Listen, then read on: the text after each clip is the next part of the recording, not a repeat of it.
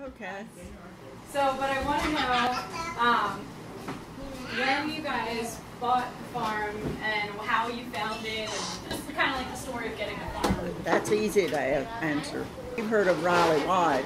He worked at DuPont's. And he told Pop Pop about it being for sale. And he got called me up and said, uh, we're going to go over and look at a farm. We come over here and they walked all over the place. He liked it. he wanted a farm. He wanted a farm. He didn't make up his mind that day. He went home. Next, it was either next day or the day after. He called me up from DuPont's. He said, "Get ready." He said, "I'm leaving the plant." Said, "We're going to go over. We're going to buy that farm." Said, "I just feel like I ought to." Said, "I got the biggest feeling." So we come over here and we went up and signed a contract of sale. We bought the farm, and in a few days, Pop Pop was over here again. Of course, he couldn't keep away from it. and the man that, that had owned it, Mr. Kinnaman, told him that Pete Schaefer down here had been trying to get him to come down. For six weeks, he'd been Oh bugging him. And he said after we signed that contract, said he come up here and said he had offered me a thousand dollars to break the contract. Wow. And he said I wasn't going to break it. He said I didn't want him to have it anyhow. they were really nice, him and his wife, really nice. But anyhow, that's how that happened. We moved. That was February, I believe, and we moved here in October of that year. And I'll tell you, he he never was sorry. Never was sorry. We paid thirty thousand dollars for it. My father said you'll never pay for it, which I mean is nothing today. Yeah. Nothing, but you didn't make as much money either. Right. But uh, I thought it was a lot of money. What's the actual acreage of the farm? Well, it had 125, but 10 acres has been taken away. Right. Ten acres got stolen. so rented out the farmland. Did, The first when did, year. When did the chickens happen and, and all the different various Well, animals? the first one was built in 1970. okay. Right, because it burned. One of them burned. It burnt down before we ever got any chickens in it. Oh my gosh. The gas company had been there that day and, and hooked up the gas. And when he lit the stove in the far end, fire went everywhere. It must have had a leak somewhere or something. I was in there putting water in the jugs. And so he everyone was here on the farm when that happened. yeah, and they had Oh, yeah. they had set the fans so when a certain degree and they come on, well, that heat Yeah. I mean, it went right to the ceiling, and, and I mean, it really burned fast. He said, "Get out of here." Said, "said Don't stay in here. Just get out." So we went to the middle of the door and went out. You were a while coming out because Bill Jones came up here before you ever got out, and I was in the house Yeah. with Cheryl and Donna and said call the fire department. And when I turned around and looked, there were flames coming out of that chicken house, and they were. It so burned big. fast. It burned fast. I fast. couldn't even hardly talk on the phone. So then we built it back. It was '72 when we got chickens. And those, that's the one that's still here. Yeah, No, that's the one. No, it is not. No, No, it no, we had another one burned down. There were two. we had this trailer and it was empty because Donna lived in it, you know. Right. And when when they left, nobody lived in it. And uh, I got a call one o'clock one night. I was asleep in bed.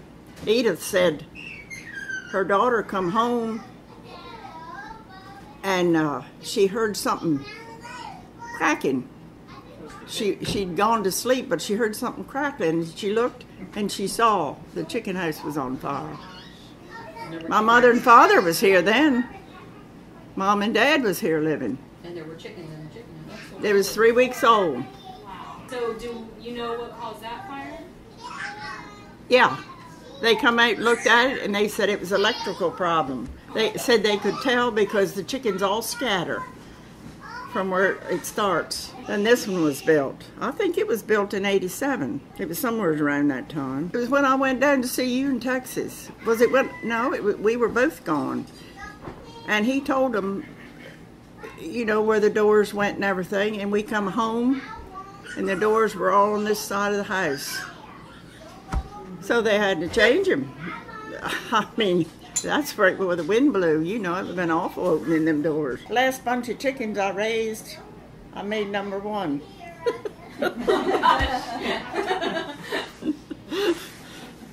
I don't know how, because I had to had to finish it because Pop Up wasn't able, and uh,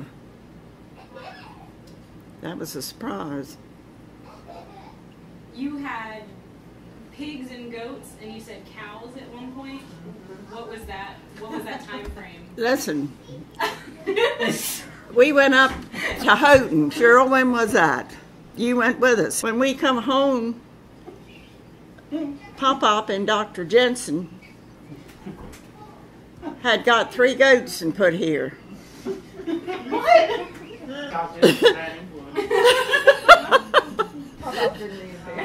were surprised. They thought it was funny. They thought it was funny. Oh my gosh. But we had cows and pigs Right after Yeah. we right moved after we here. Yeah, Yeah. they were in back, a fenced in in back of where the chicken hou- chicken house wasn't here then. Bunky, Bunky, who ate tea bags. Right. First one we killed, we killed a cow to eat, and we used not, we also we were going to eat. Oh, they Said they ate said that night, they wouldn't eat a bit. and somebody said, "This isn't Bunky, is it?" Oh And of course, Oh, we're gonna mom and lie. dad had to say, "Yeah, it was," and it's like, mm, none of us ate it. no! But you did after that. We Don't learned not to make, we learned not to make friends with the cows. Before you guys moved here, it, you weren't on any sort of farm. There No, was we sort lived of- we lived uh, Seaford. We built a house up on a hill there. Yeah, he built that. I'm assuming that Saturday night dinners didn't start until everyone had No. out and was back here. Pop Pop started that. Pop up started. He's- it was every Saturday. it was his idea. Yeah. But we it got- got started when we were building. Mom started having them on Sunday Doing everything. Yes. afternoon because she had Mom and Pop up here. And Yes. she was home. And Cheryl and Donald and uh, Josh and uh, Luke We're all living. We're here. were all living here, all of them. Yeah, it was after church on Sunday. I tell you about the about the time Pop Pop Saturday we did. was in church, and this new family had moved in with two children, and uh, he invited them home for dinner, and I didn't have anything prepared. but we made eggs somehow. I don't even remember what we had. Maybe I did have some leftovers. I don't know. yeah, we've had some funny times. We had a big hayride for the church every year. Do you remember that? No, Abi. Abi was just little then, because somebody spilled coffee on her, didn't they? Yes. Yes, I'll never forget it. They did. Over the hayride. Yes. You were little. You weren't very big. I remember running you in the house and and turning the cold water faucet on and just let it run. It was on your legs. And then it. Yeah. You should have seen McDonald's. Did you spend a lot of time? Did you get to ride on the tractors and combines and pub up? Did you ever get to go out on the, the field? I never drove the tractors but one time. Oh no! And uh, Pop Pop had. I can't remember what was wrong. There was something back there in the woods that I had to stir it, and uh, it was something had turned over or something. And somehow I pulled that thing down, and it it hit this thing, you know, and Conley started rearing up. It kept going right up, and he was standing there scared to death. He thought it was going to turn over on me, and he run up there quick and pushed the, the thing in. I had never driven the thing. He never asked me to drive it. but I did ride on the combine sometimes with him when, when he was driving it. Yeah. And it was a lot smaller than You drove your grain trucks there. Huh? Did you drive your grain truck? Yeah, I drove some grain trucks in. That was before you had to get your license. Right. I mean, you had to go and park and all that kind of You didn't have stuff. to have a special license Yeah. for a farm. And we built a chicken house. He was still working to DuPont's. And he worked till April Fool's Day.